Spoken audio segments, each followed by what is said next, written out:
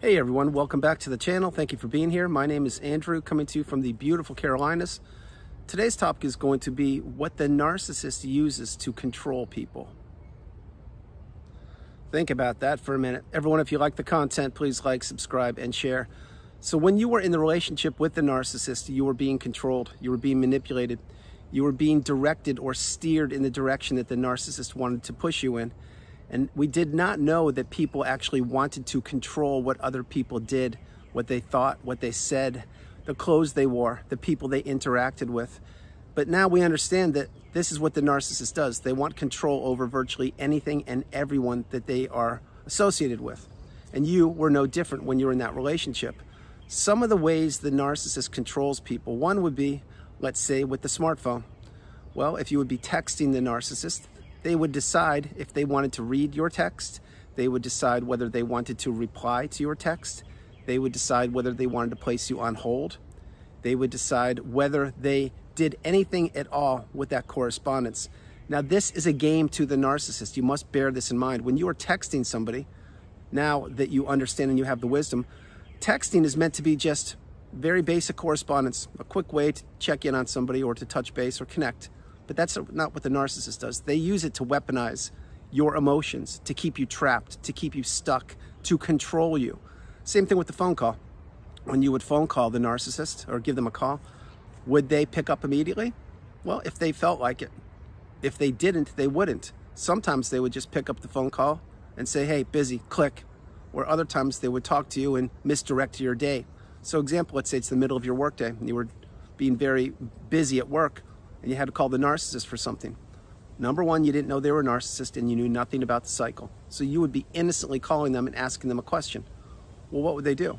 They would probably give you a endless to-do list or hammer you for calling them or why did you disrupt their day or what's your problem? You know that they're so busy, etc. This is what the narcissist wants to do. They want to control you and your day and how you function at work. That is why each and every day you are you are in the narcissistic relationship you were walking around on eggshells. You could not catch your breath. You did not know what was up or down. You were in the narcissistic fog. You were being devalued more and more. You were being controlled more and more. Now, those are two quick examples with the smartphone. Same thing, let's take the social media accounts of the narcissist. Well, first of all, do they have one social media account? They probably have dozens. Now, why would, the, why would a person have dozens of social media accounts? Because they want to spy on former sources of supply or potential sources of supply and they want to use filters and they want to use all of the beautiful photography and the images of places that they have never even been to draw people in and to attract people into these relationships. That is what the narcissist does. That's why dating apps are cesspools for narcissism. Now, again, if you're on a dating app, I get it. Maybe you had a pleasant experience. I can't tell you. But be very careful if you've never been on one and you're on one now because there are sharks swimming in those waters. And it's not just a narcissist you may find. You may find actually more toxicity but having said that, that's what the narcissist wants to do. They want to control what your thoughts are of them on social media.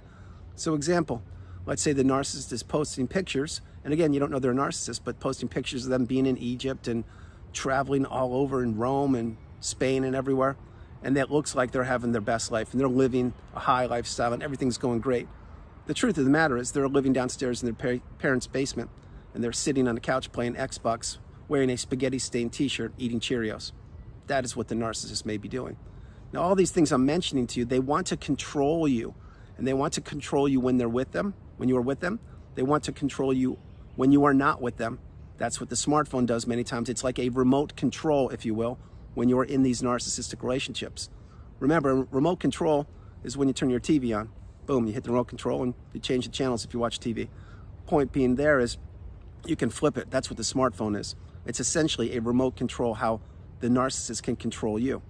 Again, back then you didn't know what you were up against. You weren't taught this in school, so you didn't even think that somebody would be trying to control you. But now you know that the narcissist is not only everywhere, but they are shapeshifters and they can change their appearance and they can change the mask they wear however they want to do it and whenever they want to do it because they need to be in control of what other people think about them. Think about this part for a minute. When the narcissist was with you, did they treat you properly? Were they kind, loving, respectful, and generous and caring? Maybe a little bit here and there, but that was all fake, just like the mask that the narcissist wore. It was all fake. It was custom made, tailor made for you.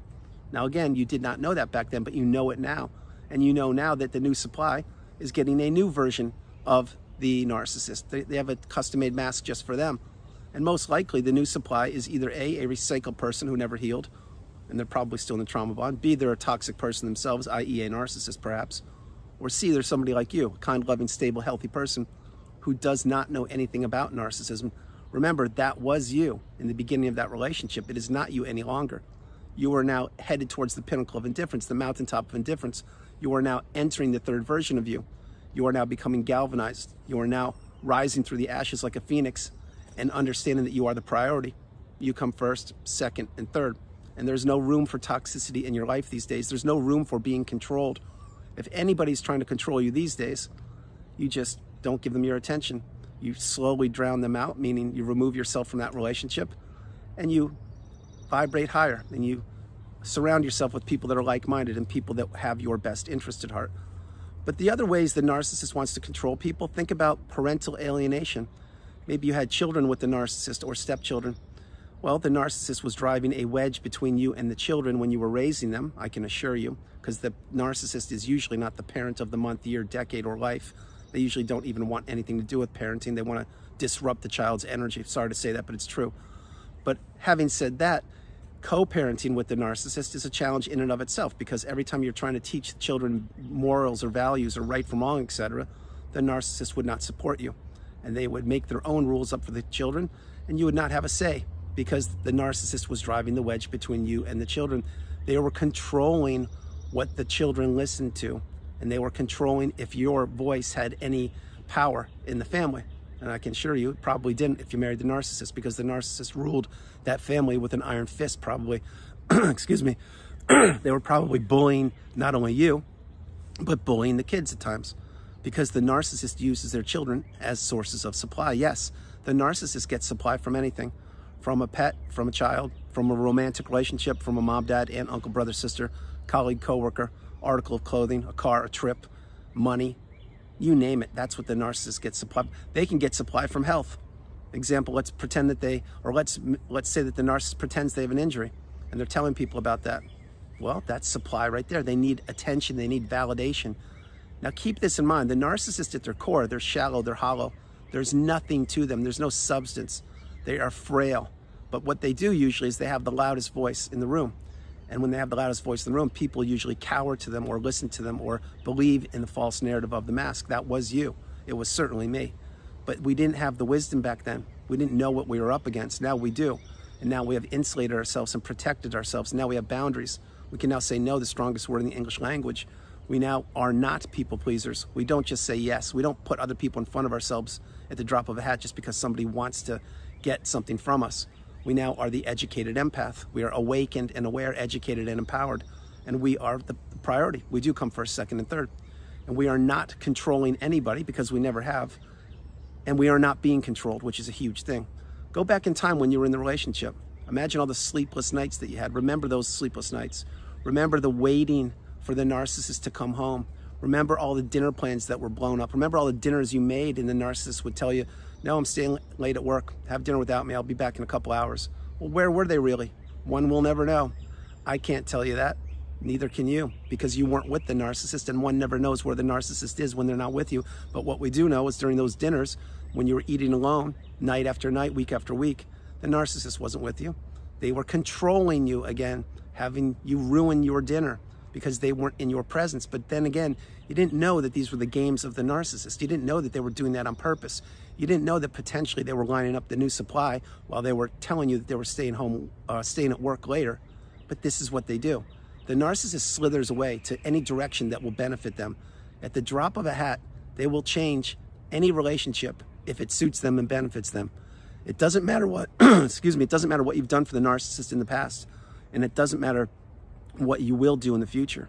What matters to the narcissist is right here, what you're going to do for them right now. That's why the narcissist lives for the moment. That's why you live in the present moment. And there is a huge difference between living for the moment and living in the present moment. When you're living for the moment, you don't care about anybody. You just do anything that you want to do without considering what it's to, how it's going to affect other people. because you don't have any, you don't care about other people. You just do whatever you want to do. And that's what the narcissist does. When you're living in the present moment, you slow your life down. The doors of abundance open up around you. You have your energy, your health, your finances, your network of friends, everything returns, and you vibrate on such a higher vibrational state than you've ever vibrated before because you're in the third version of you. But when you do that, that's a beautiful thing. That's something the narcissist can't do. Keep in mind, the narcissist cannot sit still. They need to always be on the go. That's why they need three smartphones. That's why they have to go out in the middle of a thunderstorm to get a jar of peanut butter to make a, a peanut butter sandwich in a week.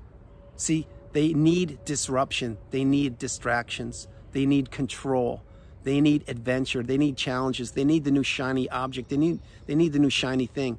They need the next flavor of the month, etc.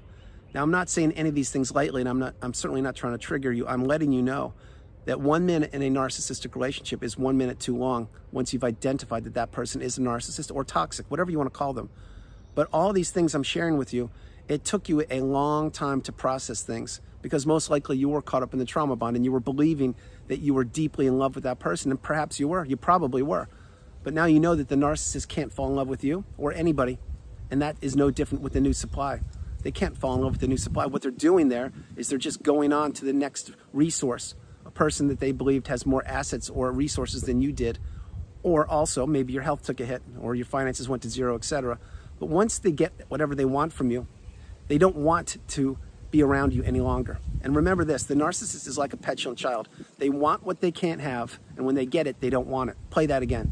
That's what they do at their core. That's what they want. That's why the narcissist keeps on playing the cat and mouse games. They act like they're the cat, and when you don't know what's going on, you're the mouse and you're caught up in the relationship and you don't know how to get out. You don't know that you're existing in the narcissistic fog. But now you're getting the education.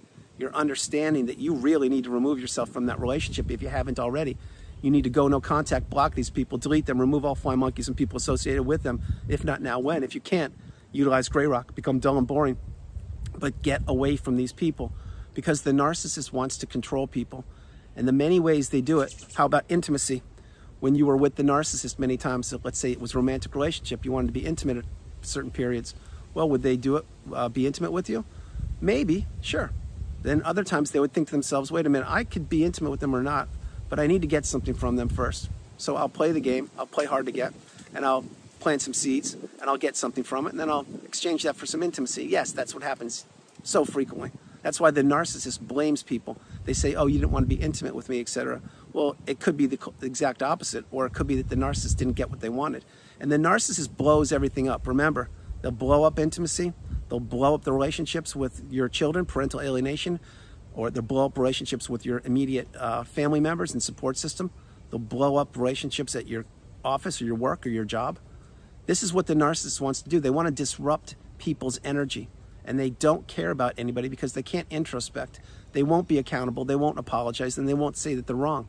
This is how the narcissist goes on so easily to new sources of supply because this is the narcissistic relationship. What this is, is it's a relationship that you need to heal from. You need to slow your life down and process things, journal, meditate, see a therapist, watch videos, read. You need to really wrap your head around what narcissism is and how it affected you for a period of time. And you need to be grateful that you're out of that relationship and you need to really be in the cocoon of boundaries and process all of the things you went through. You need to learn the definitions in the glossary on the narcissistic abusive cycle. Example, you need to learn what gaslighting is, what the silent treatment is, what triangulation is, what a rage fit is, what blame shifting is, etc. You need to understand that the narcissist is broken at their core and they don't want to introspect and they won't be accountable and they don't care about anybody, only themselves. And they want to collect people's money, collect people's time. They want to collect broken hearts. They want to collect blown up relationships. This is what they do each and every day. This is what they're doing right now. So as I'm creating this video and you're consuming it, maybe you're waking up, having your morning coffee, maybe you're getting ready to go to bed and you're just getting ready to turn the lights out. Think about this one for a minute. As I'm creating this video and you're consuming it, there are thousands, probably tens of thousands of people entering a narcissistic relationship for the first time, but that's not you.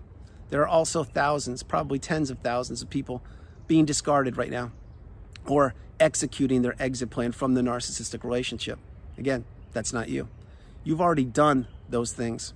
You're healing, you're slowing your life down. You are really practicing gratitude. You're understanding that that relationship almost took you down for the count, but it didn't. And you're here and you are really committed to healing and you do understand that the healing path is not linear, it will take time. It will take a lot of time, but in your time, you will heal. You will reach the pinnacle of indifference, the mountaintop of indifference, where you no longer care about the narcissist or any people from that period of time. You will also process that there are casualties of the relationship, and some will be financial, other will be children that you probably will not be able to see, other will be friends or family members that have drunk, uh, consumed the, the secret sauce from the narcissist, i.e., the smear campaign. So you're not going to be able to communicate with those people any longer. And that you're going to have to slow your life down and insulate yourself with loved and trusted ones that are like minded. This is what we do, this is how we heal. And the narcissist has nothing to heal from for a few reasons. One, because they never cared about the relationship, they only cared about the opportunities that it provided for them. And two, they don't believe they ever did anything wrong. So there's nothing for them to heal from. Bear in mind also, when the relationship ended, the narcissist did not give you closure. It's impossible. They can't, they won't, they don't want to, and they never will. Because closure would mean that the narcissist would have to admit what they did. They would have to be upfront and honest and genuine and authentic and say, yes, I actually did manipulate you. I did try to really do damage to you. And I apologize. I was wrong. What was I thinking? Never going to happen in a thousand years. What the narcissist wants to do is leave that door open, just a crack, and they hope that you do not go no contact and you do not block them, etc., so that they can come back at a later date and attempt to hoover you. And what is a hoover? It's when the narcissist is trying to draw you back into the relationship, maybe for a minute, maybe for a day, maybe for a week, a month, a year, a decade, the rest of your life. But do not, and I repeat, do not accept a hoover. It will not serve you. It's never served one person in the history of humankind that has accepted a hoover. Hoover, if you did accept one, it is, it is sending a succinct message to the narcissist that you have not healed, that you will go back for another round of punishment, and that yes, you haven't broken the trauma bond, or all three of those things.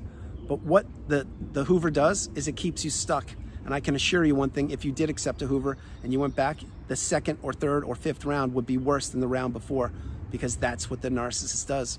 They want to manipulate people. They want to control people. They want to blame people for their misgivings and for their faults. They need the walking apology. They need the punching bag. They need the unpaid helper. They need the sounding board. They need someone to catapult them to the next level of their life. And I can assure you that was you for a period of time, which was the length of your relationship.